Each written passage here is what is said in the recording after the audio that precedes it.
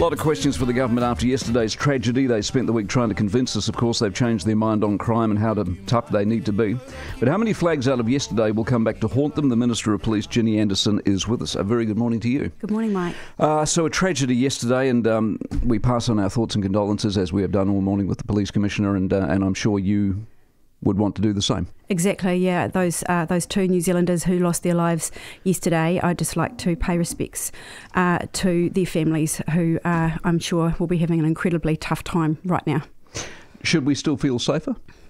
Uh, what I have had, that was the. Uh, actually, before I answer that, I'd just like to acknowledge the work of the police. I've been uh, alongside of them over the last day and seen uh, the huge amount of bravery that went on yesterday to charge into that scene. Uh, I have no doubt about it that their quick action saved lives yesterday. I think so.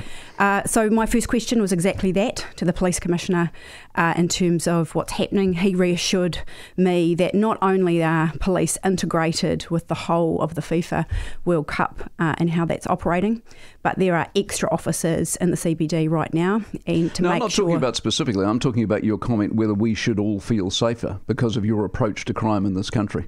Uh, so you're talking about all New Zealanders right yeah, now? all New Zealanders. Should So- we feel safe? Is this a safe country that you are oversteering at the So, moment? so my comment was, my full quote of that uh, was that uh, we feel safer with 1,800 extra Hmm. police. So now that we have a more well-resourced frontline Yeah. that is able to give the actions we saw yesterday to get there within 11 minutes of the phone call, to have that No one's police, questioning they did brilliantly. How many people are dead? uh, two people are dead. Exactly. Should we feel safer?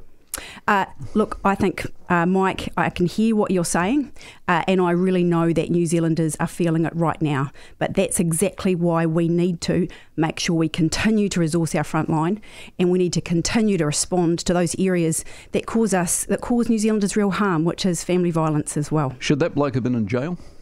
Uh, that's one of the questions that I want to know, and well, that's you, you one can of answer the. it because you're the Minister of Police. Should he be in jail? I've read the notes. Have you read the notes? The case notes? Uh, yes, I've seen those. Should, we, should he be in jail? That uh, we I want to see not just those case notes, but I want to understand all of the other information, and that's exactly what the police investigation What will be doing. Can I just finish? Sorry, sure. Mike. Uh, so I, what I want to see is that full police investigation and what is unearthed. So there was 80 witnesses at the scene that were um, spoken to and interviewed by police yesterday, and in addition to that, what I'm interested in seeing is the corrections review. So the Department of Corrections will be going through piece by piece to understand if there were any red flags there that were missed. The red flag would be he wasn't in jail. That uh, that decision is made by a judge at sentencing on the factors in front of them, and I don't have those factors in front of me I to did. be able well, to. I've, se- I've seen enough. He, he, beat the bejesus out of a woman, strangled her, hit her again with some scissors and a bottle, and he had form, and he's not in jail. I understand your concerns, and I understand that New Zealanders are not uh, con- are concerned about that level of violence. But what we need to be sure of is that we have all of the information, What- and that's. can I just finish? Sorry, Mike. And that is exactly what the investigation will do. So yes, you have some information there, but there will be other information, and I'm only prepared to make a full judgment on what uh, went wrong What when we else do you understand need what to went wrong. see? The, the, the, crime, the crime is the crime. And it was once again ne- negotiated down to nothing. And under your government, what you seem to insist on doing is having fewer people in prison. And once you get a prison sentence below two years, it's an ankle bracelet. This was discounted down below two years. I can hear what you're saying. It's a, don't don't hear what I'm saying. It's a statement. They're statements of fact. Well, if you'd let me finish, I could explain to you what I was going to say. So, there has been no changes to prison terms since our government has been, and those decisions, whether it's home detention or the sentence, is made by a judge at I understand that. Everyone understands so that. a judge is independent from the government, and it's for a good reason we, we that a judge we, get, is we get all of that, but the judge operates on the steer from the government, the No, law, the, the- really? from the law of the day, and the law of the day says once you get to two years jail, you can get a home home detention. And the law of the day has not changed in those I'm not arguing whether the law of the day has changed. I'm, what, what I'm asking you is you've been in government for six years now. If there's a problem, and clearly there's a problem, why haven't you done something about it? the de- decreases, the two main decreases of that prison population decline, the two areas that have declined the most have been uh, low level uh, drug offences like cannabis and traffic offences. They're the two main drops. Okay, let me give you these statistics 7% increase in uh, acts intended to cause injury. 121% increase in serious assaults, 9% increase in common assaults, 6% increase in sexual assaults, 19% increase in aggravated sexual assaults against a drop in prison population of 20%. Crimes up, prison population's down. That's on you. Uh, I take on board that as completely unacceptable. I will never argue that. What, Mike. your, your record's unacceptable? No, the level of crime we are seeing in New Zealand is unacceptable. Right. And that's exactly. No, I'd like to finish, but that is exactly why we have a police service that is better resourced. That is exactly why we are putting far more resource into family violence. this guy was and round- that is and and that is also and that is also why that is also why those offenders, those serious repeat offenders, are brought before the courts and prosecuted by police. Yes, and only last, the- can I just point out, Mike? look- I do want to finish. Come on. Um, I want to say that just last week we've provided an additional 26 million for additional prosecutors. Money doesn't buy the d- money doesn't solve this problem. This guy should have been in jail. By but look, on anyone's measure outside of a judge and seemingly your government, this guy should have been in jail, and he wasn't. And because he wasn't, he was on an ankle bracelet. And there's a 97% increase in the number of people absconding from ankle bracelets. 97%. Then he goes and gets a gun. Do you reckon he had a gun legally? No. Do you reckon the gun registers worked? No. He goes and kills people. What part of that don't you understand?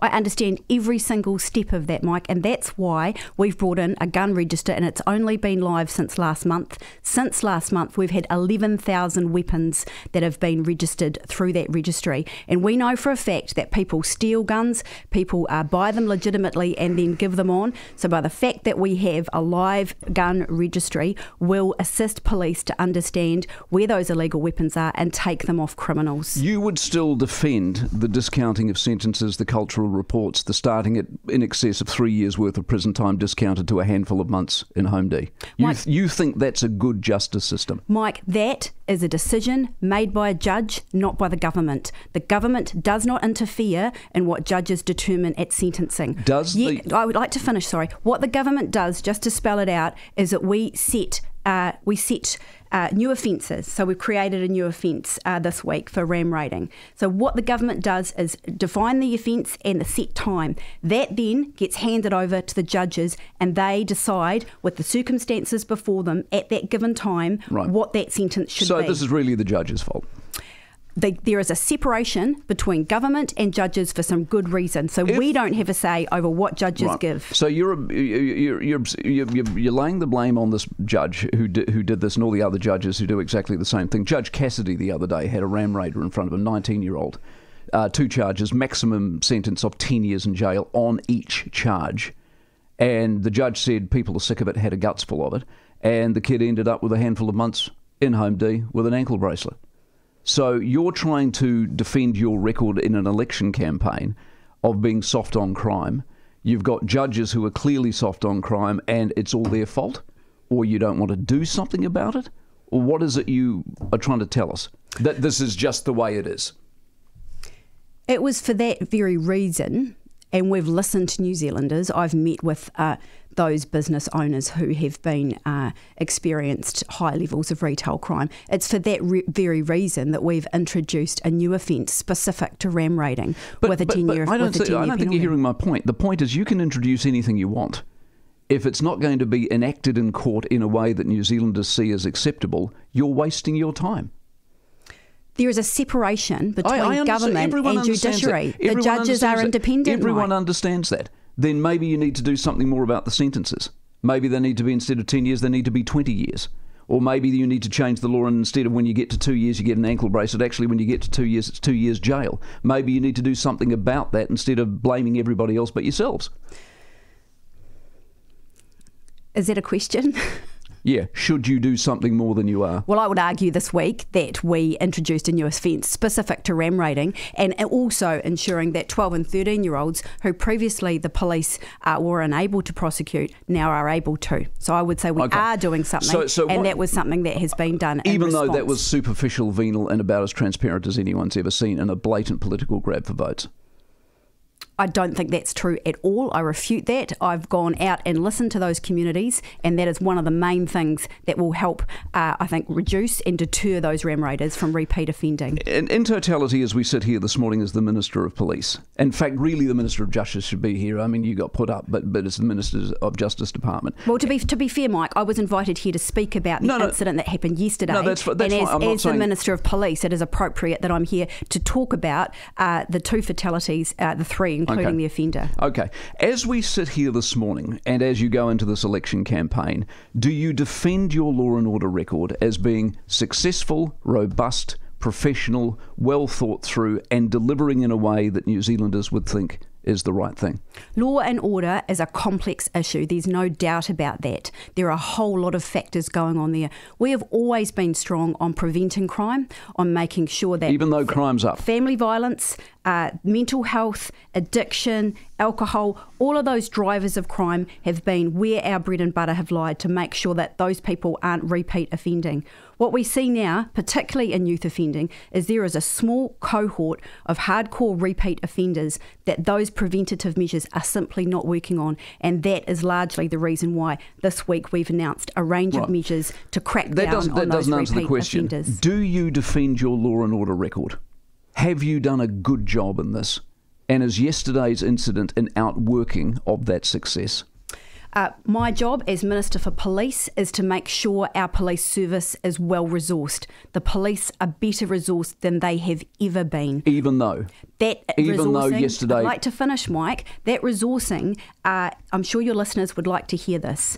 Uh, that resourcing enabled the quick response we saw yesterday. That response enabled within 11 minutes. Nobody. Let me finish. No, 11 minutes Ginny, of a phone call, and with nobody, four minutes. Nobody. Four minutes after that, we had AOS response. Tomorrow. But that's my point, Mike. The fact that I have our frontline resourced Ginny, means you're we miss, get a You're quick missing response. the point.